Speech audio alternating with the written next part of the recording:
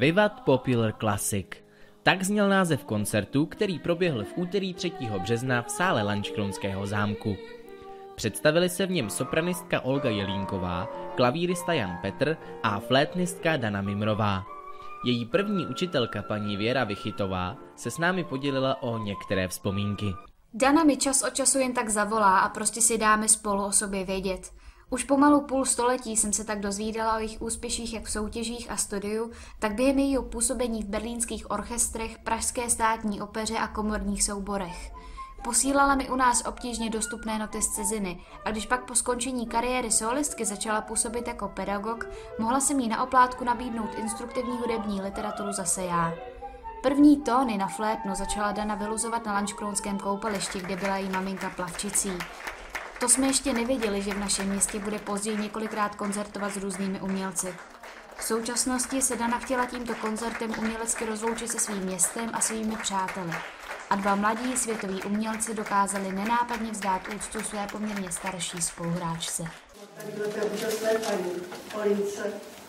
Protože komu se poštěstí mít koncert v těchto letech, no, co bychom si nalhávali s tak báječnou zpěvačkou a panu Petrovi, oba jsou světoví, co bychom si povídali.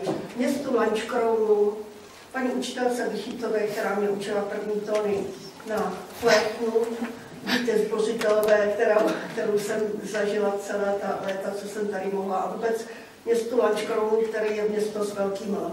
Děkuji.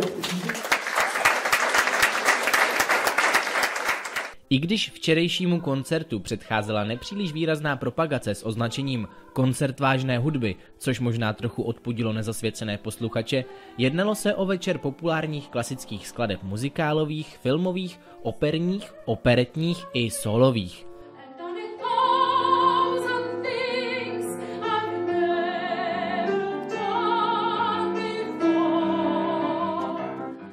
Zazněly například melodie z muzikálů Phantom opery, My Fair Lady, West Side Story či skladby Friedricha Chopina, George Gershwina a mnoha dalších.